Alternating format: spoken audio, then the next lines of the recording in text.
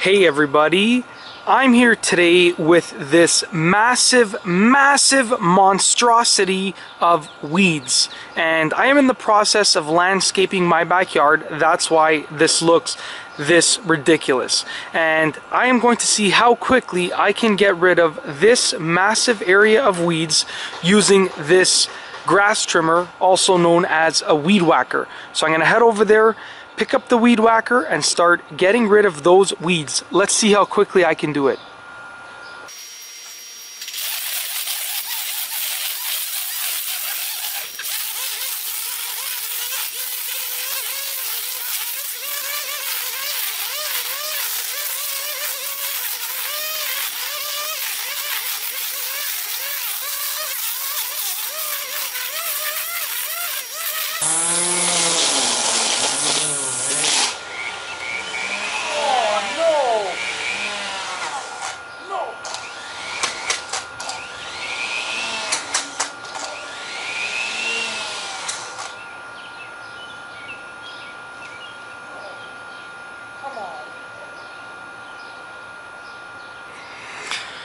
Alright, so it looks like the weeds won.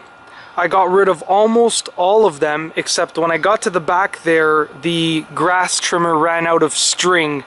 So uh, I'm going to go uh, into the garage and replace the string and finish up, but I will be doing that off camera because it'll probably take me a little bit of time to replace the string and it is going to be dark very shortly.